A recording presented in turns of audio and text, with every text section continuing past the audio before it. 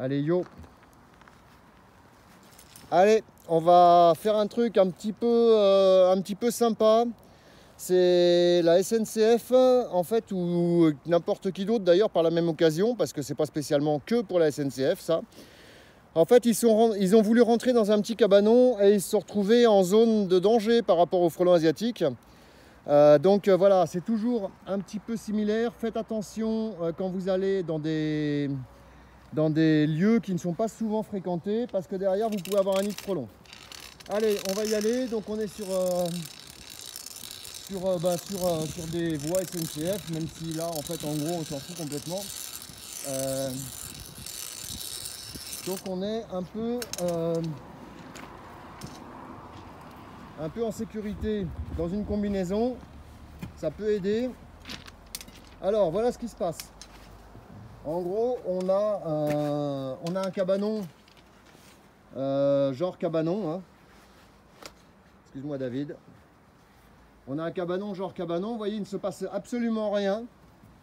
Et si on jette un petit coup d'œil un peu plus euh, prononcé, on va s'apercevoir que très vite, il y a un gros problème.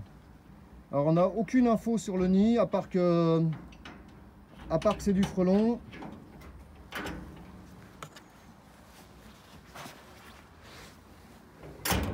Ah bah il est ouvert.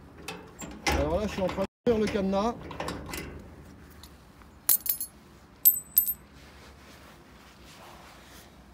Et je vais faire comme le monsieur. Je vais le découvrir en même temps que vous. Voilà, alors c'est un nid qui est euh, potentiellement assez intéressant. Vous pouvez le voir, il est, euh, il est gros comme un beau ballon de basket. Alors là, ça a été assez cool pour l'instant, puisqu'en fait, ils nous ont pas Mais voilà, par exemple, voyez, donc la clé était un peu dure, on va dire, etc., etc. Et là, vous ouvrez difficilement le cabanon, comme ça se produit souvent avec la chaleur, etc. Et bien là, vous avez euh, tout simplement, vous avez 1500 frelons qui viennent vous dire bonjour automatiquement. Vous avez le père Alphonse, le père Dodu, enfin tout ça. Voilà, donc là c'est bien sûr front asiatique. Hein. Donc euh, on regarde, on est bien protégé, ouais tout est bon. Et là voilà, donc là vous êtes content, euh, c'est des protections pour les gens quand il pleut ou je ne sais quoi quoi. Pour qu'ils soient plus à l'aise. Vous voyez, petite ouvrière, grosse ouvrière. Le nid en début de phase. Hein. Donc là, traitement rapide, puisque ça ne sert à rien d'attendre euh, plus longtemps. Euh, que vous dire? À part qu'ici, moi je suis bien au courant. On a, euh, un nid de frelon euh, de taille tout à fait correcte. Donc voilà, ça se passe bien. On a toujours les pères Alphonse. Hein.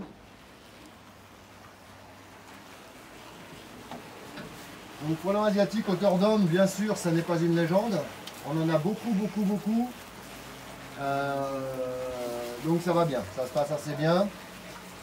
Donc là, le traitement a été fait. Bien sûr, on va demander euh, la désodorisation du lieu, mais après.